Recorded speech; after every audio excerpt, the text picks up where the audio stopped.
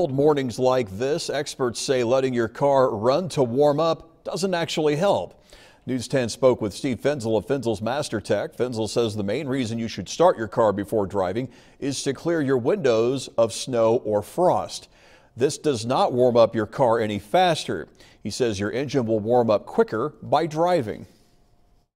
By putting that engine under a load, um, which is by driving it, you will obtain that engine operating temperature quicker. Finzel mentions leaving your car running in your driveway just wastes gas.